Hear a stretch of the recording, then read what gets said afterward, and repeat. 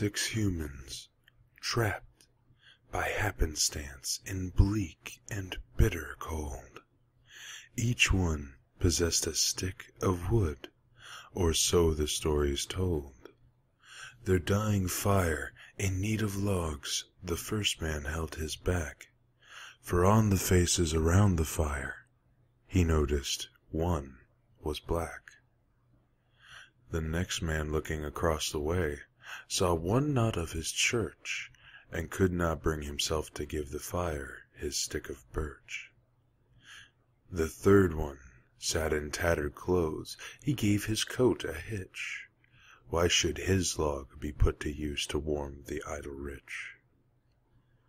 The rich man just sat back and thought of the wealth he had in store, and how to keep what he had earned from the lazy, shiftless poor.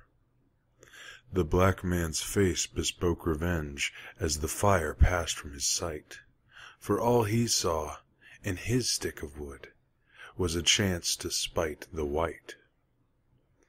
The last man of this forlorn group did naught except for gain.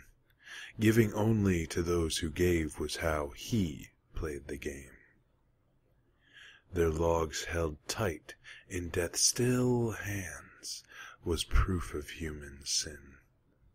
They didn't die from the cold without. They died from the cold within.